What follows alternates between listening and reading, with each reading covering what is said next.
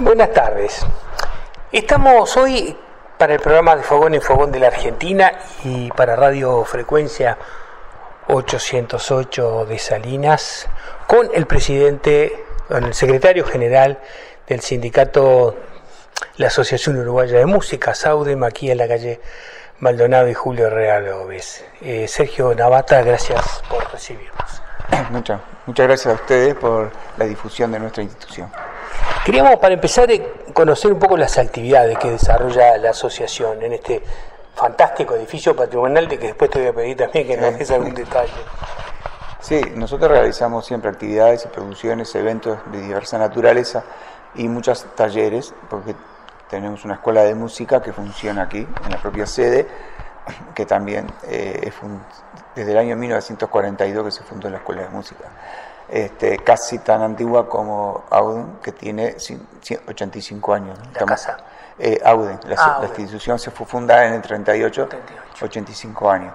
Este, y este año estamos cumpliendo este nuevo aniversario y tenemos un, montón de actividades que ya comenzamos desde marzo y hasta ahora y vamos a seguir hasta fin de año con diversos tipos de, eventos. ¿no? Eh, la, bueno, la, institución que comenzó en 1938, como decíamos, está eh, en esta sede, eh, no desde el principio, pero cuando compró esta, esta casa, que es una casona de 1908, eh, que tiene en realidad tres niveles, ¿no? tiene planta baja, tiene la planta alta y tiene un subsuelo, y tiene también el fondo, tiene un patio, tiene salas en el fondo, salas de ensayo, y salones también para clases o ensayos o, diferentes eventos. Eh, y este año, bueno, estamos abocados ahora en este momento al sexto encuentro internacional de saxofones, que ya es la sexta edición.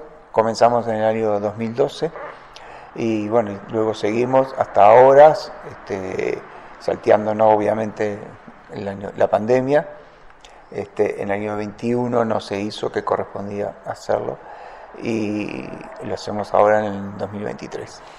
Entonces es un evento internacional, o sea que vienen eh, músicos de varias partes. Contame un poquito de eso. Sí, vienen de diferentes eh, lugares. Eh, en, en, esta oportunidad tenemos invitados desde Argentina, Brasil, Costa Rica, México y por supuesto Uruguay. Eh, hemos tenido gente de diferentes países en las diferentes ediciones de esta, este evento internacional. Eh, gente de Estados Unidos también, tenemos de Bélgica, este, de, Cuba, este, de Chile, incluso en otros momentos. Eh, siempre vienen de diferentes lugares. Y, acá se encuentra, es un encuentro justamente, como así se llama, de saxofonistas para intercambiar este, sobre el instrumento. Eh, hay talleres en este momento, hoy 14 se está realizando este, el primer taller eh, con una este, saxofonista que también va a estar presente en este encuentro que es de Austria, eh, viene de Viena, de la Escuela Bach de Viena, y va a estar entre nosotros unos 15 días haciendo talleres, cursos y, va, por supuesto, va a tocar en este encuentro. El, último día va a cerrar el domingo 20 este, Ilse en, formato de cuarteto. Eh, y bueno, acá tenemos, como decíamos, de todos estos países, Argentina, Austria, Brasil, eh, Costa Rica, eh, México y Uruguay, en este encuentro del año 2023. El saxofón es un instrumento que mm, tiene su rol en qué tipo de, performance musical. Bueno, el saxofón en este caso está enfocado hacia el instrumento, por lo tanto tampoco no, un género y un estilo específico de música, sino que en este encuentro van a poder apreciar música clásica hasta jazz, de fusión, eh, música brasileña, este, también hay dos saxofonistas que vienen de Brasil, eh, también hay propuestas diferentes como de Costa Rica, que se va a estrenar una obra aquí en Uruguay, que se está estrenando ahora o se acaba de estrenar en Nueva York. y se va a hacer aquí en Uruguay con saxofón y, música electrónica. Este, simultáneamente es, está un, saxofón este, con audios y, esa es una propuesta nueva, diferente también que va a estar presente, o sea que eh, la gama es bastante amplia en cuanto a, los estilos. ¿Cuáles son los, los, nombres uruguayos que suenan dentro de la historia del, instrumento? Sí, hay muchos. Eh, podemos empezar hace muchos años atrás, acá hubo, hubo incluso un cuarteto de saxofones bastante famoso, cuarteto americano de saxofones, que estaba eh, Gutiérrez, fue, fundamentalmente fue uno de los, integrantes fundadores de, ese, este, ese, cuarteto. Y ha habido muchos saxofonistas hasta el día de hoy. Eh, hoy día también está Fino Binger, por ejemplo, que es muy reconocido a nivel internacional, que ha hecho su carrera en Europa, estuvo en Suecia, eh, viaja, ahora dentro de pocos días también va a estar actuando aquí en, Montevideo. Este, y después hay nuevos saxofonistas que, han ido apareciendo. Eh, hay, eh, bueno, desde Bolívar Gutiérrez, como decía, también está el hijo ahora Santiago Gutiérrez, están en la banda este, de, la Intendencia de Montevideo. Hay unos cuantos este, saxofonistas, acá también tenemos profesores como Jorge Sica, eh, este, Gustavo Villalba, que de los que hay actualmente, los que van a estar en, en este encuentro también Patricia López, uruguaya, María Noel Luzardo, que es una uruguaya radicada en Argentina, y que eh, empezó a venir acá en el 2012 a dar clases aquí en Auden cada 15 días formando saxofonistas. Ella también va a estar presente en, este encuentro. Eh, tenemos, este, bueno, por ahí tocando eh, muchos saxofonistas que así, en, vez de se me escapa alguno de memoria, ¿no? Este, pero ha habido una, siempre ha habido un desarrollo importante en este, en este instrumento y gente que ha sido este, reconocida ¿no? a nivel nacional e internacional. ¿Y en las orquestas sinfónicas cuántos instrumentos, saxofones participan? En la, en la banda, no sé exactamente cuántos saxofones tienen en este momento, eh, tiene una fila de, de saxofones este, y por lo menos tiene que haber cinco no, no sé exactamente, cinco o seis saxofones este, en, la, en la banda. En la banda. Eh, ¿Compositores que hayan trabajado específicamente el instrumento? Eh, sí, eh, también de tanto de la música popular, la música popular como en la, música académica, este, hay, incluso yo mismo, este, tengo algunas obras para saxofón y piano, este, por ejemplo, y, también cuarteto para saxofón. Este, eh, hace en el 2012, cuando se empezó, a venir María Noel Luzardo, ella también acá fundó un, cuarteto que se llamaba Senaque, con, eh, saxofonistas uruguayos. Y ahí se empezó a trabajar este, los autores nacionales. Hay obras de la Marque Pons que son bastante conocidas. Este, después hay este, otros eh, saxofonistas eh, contemporáneos, como Sergio Fernández, por ejemplo, que también ha estrenado obras para saxofón y para conjuntos de saxofón. O sea que hay, hay unos cuantos este, autores en Uruguay de, que han escrito para, para saxofón y obviamente en la música popular eh, bueno, es muy variado, hay mucha cantidad de gente. ¿Tú sos compositor? ¿Qué instrumento manejas también?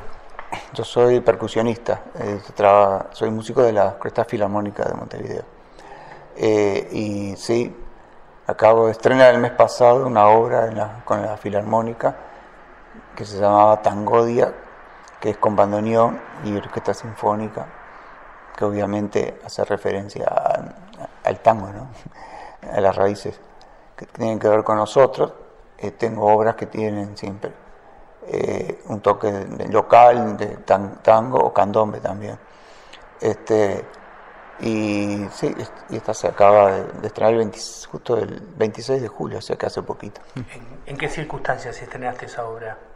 Eh, mm, como circunstancias. ¿Cuándo fue? ¿Y el 26 de julio fue un concierto que se hizo, que hizo la Filarmónica con autores uruguayos. Ah. Entonces estaba la Marque Pons, estaba este, y Luciano Superviel, que, que, fue el que actuó con la Filarmónica y con los temas de él, este, y esta obra mía. Cuando decís que sos percusionista, ¿cómo son los, ¿cuáles son los instrumentos que manejas específicamente? Y, y la, la, mayoría de los instrumentos de percusión de las filas, de las costas sinfónicas, o sea que están todos los tambores, bombos, platillos, o sea, instrumentos de placa, que son como el xilófono, el vibráfono, también, este, es una cantidad de instrumentos y un montón de, accesorios chicos, ¿no? Que, tienen que ver con, con, el uso este, bastante frecuente en una orquesta sinfónica, de triángulos, panderetas, castañuelas. ¿Estás solo todo... vos para todos los instrumentos? No, no, somos varios percusionistas, sí, sí. Hay, hay una fila de, personas, claro. ¿Cada uno maneja cuántos instrumentos? Y depende de la obra. Depende de la obra. Este, generalmente uno, dos, tres, pero depende. Eh, eh, o sea que, el, ¿vos cuántos años hace que estás en, en, la orquesta filarmónica? 40. 40 años. Sí, yo ya estoy para jubilarme. hace, Qué bárbaro. Ya hace 40 años. ¿Y como secretario general acá, desde cuándo te eligieron? Bueno, no, acá estoy hace muchos años también, lo que pasa es que he pasado por, todos los cargos. Este, eh, estuve en la directiva, la, entré ya hace como más de 20 años. Bueno, fui secretario varias veces, fui presidente varias veces, este, vicepresidente también, eh, o sea, he ocupado varios cargos. Y he estado, hasta ahora estoy acá en la dirección de la Escuela de Música. Que, o sea, que dirigí la Escuela de Música. Sí, acá, eh, que esto comenzó, esta, digamos, este relanzamiento de esta nueva Escuela de Música, que antes se llamaba Conservatorio, fue en el año 97. Entonces ahí se retomó que en ese momento estaba no estaba funcionando completamente el conservatorio, eh, ahí se retomó, se hizo una reestructura, se, cambió hasta el nombre, pasó a ser Escuela de Música de Auden y, ahí comenzó una nueva etapa de la Escuela de Música. Entremos en otro de los terrenos que, nos interesa. ¿Cómo funciona el tema de los derechos de autor hacia el músico? Como, por ejemplo, en esta, esta obra que vos mm compusiste u otras anteriores, ¿cómo funciona la retribución y el derecho de autor de todo ese trabajo? Y eso, se, y eso se, primero se encarga una institución que se llama AGADU, es la Asociación General de, Autores del Uruguay, y que es la que eh, justamente tiene ese cometido del cobro y distribución de los derechos de autor. ¿no? Es, una, es una eh, gestión colectiva de, derecho de autor, como creo que hay en todos lados, en Argentina también, y casi todos los países, y ellos son los que se encargan de que se cobra y luego se, se, paga a, los, autores eh, de acuerdo a un, pues, un porcentaje que, que, cobran de las entradas y eso se distribuye entre los autores que participan en ese, en ese concierto. ¿Cuáles son los desafíos que tiene hoy como sindicato este AUDEM? Y siempre tiene muchos. A lo largo de la historia ha tenido bastantes situaciones muy buenas, algunas no tantas. Y ahora estamos, por ejemplo, abocados a algunas eh, propuestas de un proyecto de ley. Y nosotros hemos participado en el proyecto de ley, fuimos, digamos, co-redactores con otros gremios de la ley del artista y oficios conexos que se aprobó en el 2008. Hemos participado en los fondos creación de fondos para la cultura, fondos concursables y incentivo cultural que hoy existen en diferentes actividades legislativas. Ahora hemos presentado, justamente a, la luz de la pandemia, que han surgido algunos este, inconvenientes en donde se ha dado a luz realmente la situación de los músicos y la precariedad en cuanto a la seguridad social en algunos aspectos. Entonces ahí vimos que hay una deficiencia. Este, eh, en lo que tiene que ver con el seguro eh, de paro, o sea, de desempleo, en que una gran parte de los artistas no estaban comprendidos. Este, y bueno, entonces ahí se presentó una modificación, eso fue en el año 2021, ¿no? en la propia pandemia, eh, y también una modificación va a ser coherente con eso, con la, en la ley del artista, ¿no? que eh, hay que modificarla, que en su momento se creo que fue un avance muy importante, pero como toda ley que es perfectible, estamos procurando eh, modificarlo eso, mejorándola de acuerdo a la experiencia de todos estos años. y eso es una de las tareas, creo, de las más importantes en que estamos este, abocados. ¿Qué, grado de intervención, eh, qué, grado de, entusiasmo tiene la, juventud con, instrumentos como este, por ejemplo, u otros eh, lo sienten en la escuela? Bueno, sí, depende. Eh, hay, instrumentos que son más populares, como siempre, el piano, la guitarra, el canto también, digo, este, hay bastante estudiantes, y, otros que no tanto, pero el saxofón es un instrumento que se estudia bastante en nuestro país, porque es un instrumento que tanto para la música clásica, la música académica o la música popular es, muy utilizado, entonces creo que es uno de los instrumentos que sí que se, que se estudia bastante en nuestro medio, eh, aquí como en otros lados, escuelas de, la Intendencia de Montevideo, de la escuela universitaria o academias particulares. En el interior también hay un desarrollo importante, fundamentalmente en los departamentos donde este, se ha eh, creado la SUTEC, la, Universidad Tecnológica. Ah, ¿tiene música ahí? Ahí, eh, tenemos, ahí también tiene música, en Mercedes, por ejemplo, está la UTE de Mercedes, donde tiene una tecnicatura en, justamente en música y tecnología, que está muy vinculada también al jazz porque Mercedes ha hecho un desarrollo muy importante de lo que es de un movimiento que se llama Jazz a la calle, que es muy ya famoso, muy conocido, que vienen también músicos internacionales de diferentes países, y se ha desarrollado todo ese movimiento sobre el jazz en, Mercedes, entonces hay también una escuela, hay una, y, y bueno, hay muchos que eh, estudian justamente los instrumentos como el saxofón. ¿Cómo se vinculan los músicos del interior con, con Audem? Sí, bueno, hoy día ya no es tan complicado como hace muchos años, con, las comunicaciones hoy lo permiten, este, es mucho más fácil. Eh, nosotros tenemos mesas, lo que se llama mesas este, en el interior del país, comisiones departamentales, eh, filiales de Audem, para decirlo de una forma más clara. Este, y, que, son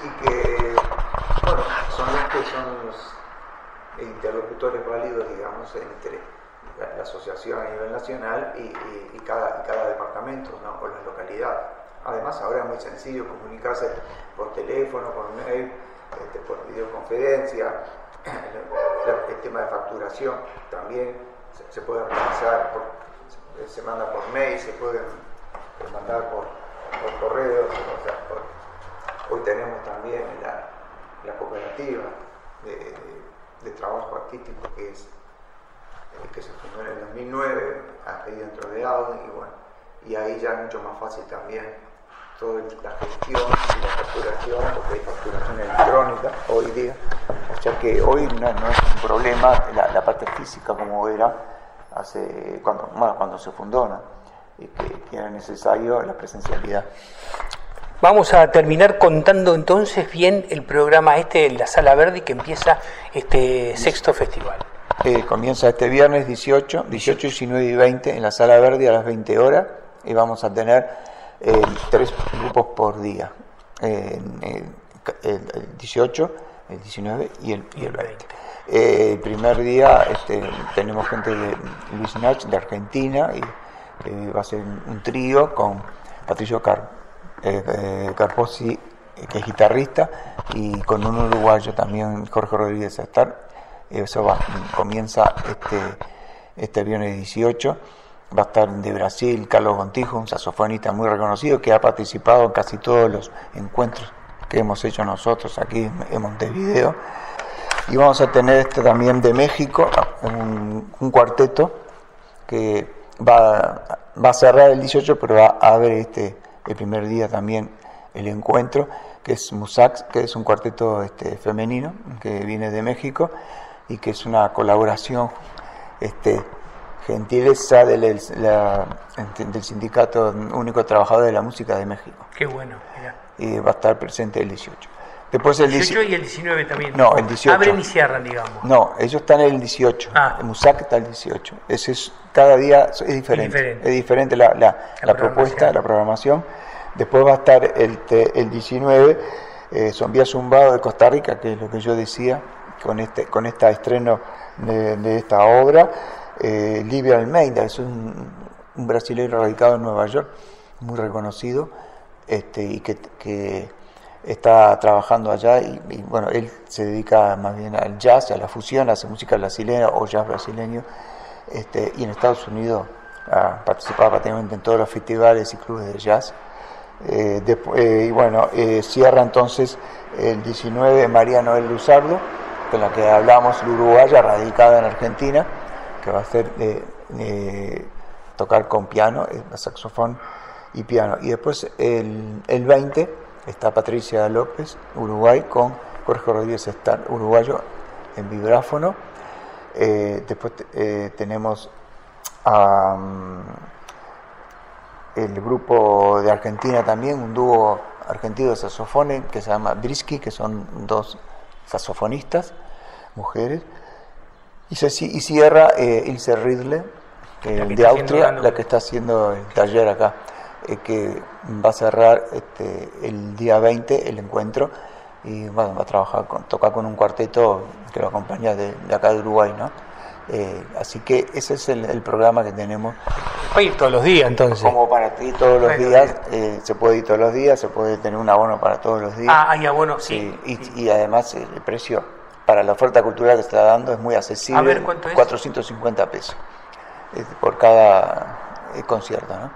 O sea, por lo tanto, eh, creo que vale la pena porque se va a poder acceder a, bueno, a músicos que de otra manera es difícil, ¿no? recoger, encontrar tantos, tantos celebridades en un día solo. Eh, ese es incluso los talleres, poder acceder a tener talleres quienes van a estar dándolo, Sofía Zumbado va a dar taller, el Ilse le está dando el taller desde hoy hasta el 26, eh, Livio Almedia va a dar un taller, Carlos Contijo también va a dar un, taller. Todos acá. Todos acá. Y Luis Nach eh, y Carposi, de, que vienen de Argentina, también, este, el trío, digo, va a estar un taller acá también en, entre el 18 y el 20, acá de tarde y de noche los conciertos. O sea que la actividad va a ser muy intensa y se va a tener la oportunidad de poder acceder a, a estos artistas, a estos profesores que de otra manera este, sería muy, muy difícil. Es ¿cómo, es el costo de estos talleres? bueno, es variado, porque hay, hay variados, hay descuentos, los socios eh, tienen también, eh, hay este hay becas también para la gente del interior principalmente, porque para que puedan venir de allá, o sea que eso lo pueden hacerlo sin costo. Este, tenemos también eh, como es para la Escuela de, Música de, de la Intendencia de Montevideo o sea que eh, hay mucha eh, eh, facilidad, ¿no? Mucha facilidad, o sea, que no, no, es una cosa tampoco inaccesible. Vamos a incorporar el teléfono para que los que están viendo este, este programa sepan comunicarse. Sí, bueno, aquí lo, más práctico es comunicarse a, nuestra página web, ah, auden.ui. Ah, ahí es lo mejor. Entran ahí y en la página está toda esta información, ah, están los detalles, están los links hacia los, las inscripciones por formulario, ahí, ahí están todos los precios, toda la, ah, ahí está toda la información y es lo, mejor. Buenas. Muchísimas gracias, eh, muchas gracias que sea un éxito este festival. muchas gracias. Ahí vamos a estar. Buenas tardes.